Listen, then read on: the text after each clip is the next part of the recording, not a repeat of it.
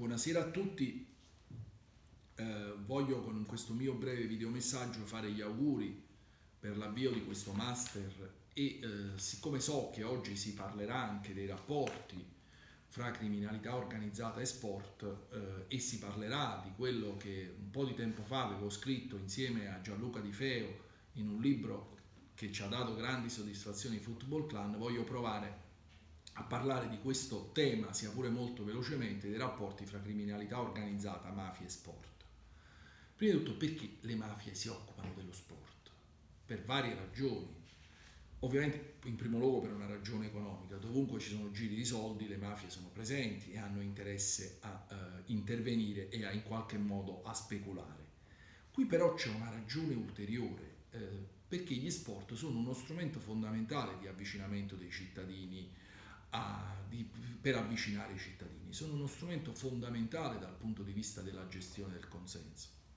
Gestire una squadra di calcio, per esempio, significa avere un rapporto significativo con contesti, con ambienti che sono ambienti politici, ambienti istituzionali, ambienti economici L'infiltrazione della criminalità organizzata nello sport, soprattutto negli sport di massa, serve quindi, oltre che a fare affari, anche a gestire diciamo, un consenso che è collegato alla partecipazione alla, alla, alle attività sportive. E poi l'altro aspetto, non di secondario livello, è che eh, diciamo, c'è un grande interesse ad utilizzare lo sport anche come strumento di avvicinamento delle istituzioni dietro le squadre di calcio, ma non solo di calcio, c'è per esempio una presenza significativa uh, di, di, uomini delle istituzioni, anche nelle partite del calcio minore partecipano sindaci, assessori, consiglieri comunali. E questo significa creare un rapporto forte con ambienti della politica, che però sono a volte ambienti vitali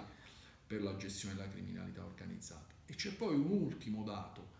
che pure noi all'epoca avevamo evidenziato in modo significativo. Attorno allo sport si è creato un sistema di interessi soprattutto legato al mondo delle scommesse. Il tema delle scommesse è un tema molto delicato perché prima di tutto rappresenta uno dei rischi principali attraverso i quali si può mettere in discussione la lealtà delle competizioni sportive il mondo delle scommesse rappresenta uno strumento attraverso il quale diciamo, si può provare a influire sui risultati diciamo, delle manifestazioni sportive. E soprattutto questo ha un grande danno per le squadre minori. Io credo che sia una delle cose più pericolose quello dell'inserimento per esempio delle scommesse sulle squadre minori, sia un meccanismo di grande pericolo perché in realtà nelle quali girano pochissimi soldi la possibilità quindi di intervenire con meccanismi illeciti per gestire i risultati sportivi è certamente superiore. E qui si pone un altro tema, quello per esempio legato ai rapporti fra le mafie nazionali e le mafie internazionali. Attorno al mondo delle scommesse, le indagini giudiziarie le hanno dimostrato, si muovono personaggi di organizzazioni internazionali importanti, personaggi di organizzazioni internazionali criminali ovviamente, che poi riescono a creare anche rapporti e strutture eh, di contatto soprattutto con le mafie italiane. Cioè quando le mafie internazionali si sono avvicinate per la gestione del sistema delle scommesse, poi lo hanno fatto nel tentativo di avvicinare calciatori, dirigenti, lo hanno fatto soprattutto facendo riferimento alle mafie locali. Ecco, si è creata questa sinergia fra organizzazioni nazionali e organizzazioni diciamo locali che è oggettivamente ancora più pericoloso, che rischia di mettere in discussione i risultati sportivi e rischia di rendere poco credibile il mondo dello sport.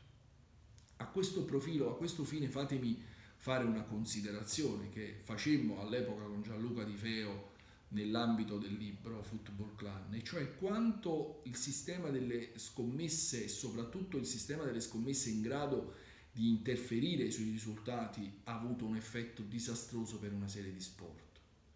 L'ippica è uno sport diciamo, che aveva una tradizione fortissima nel nostro paese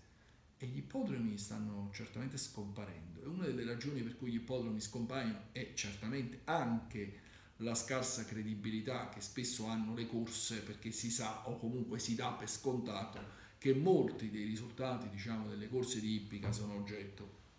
di valutazioni diciamo di illicità. Eh, e così per esempio anche lo stesso Bo, la stessa Box ha perso grande diciamo, influenza anche e soprattutto per tutto il mondo del, del, del mercato diciamo, delle scommesse che gira intorno. E allora qui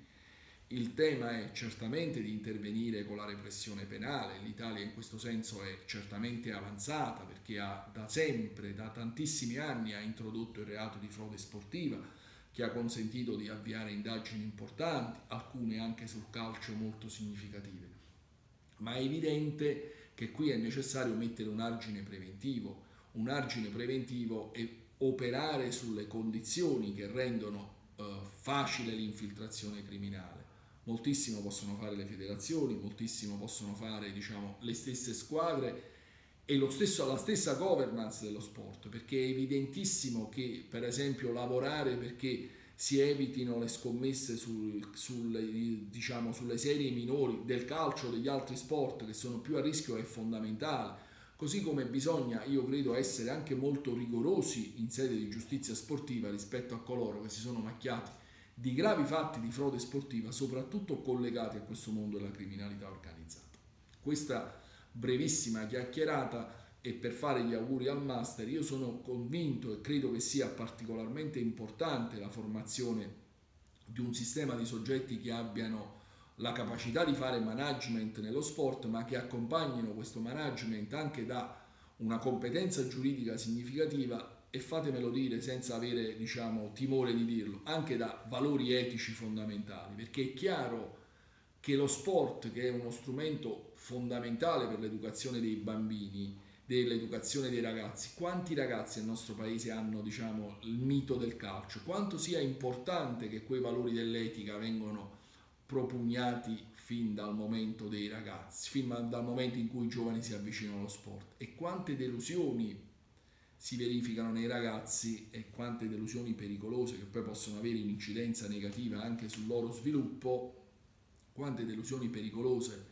si verificano proprio per quei ragazzi che spesso verificano che fin dall'inizio esistono meccanismi di scarsa lealtà nello sport. E allora la, la preparazione di un master in questo senso serve certamente a creare le competenze tecniche, ma io mi auguro anche a mettere insieme quel, quelle infrastrutture etiche che sono determinanti perché lo sport nel nostro paese svolga un ruolo assolutamente significativo come già è ogni giorno.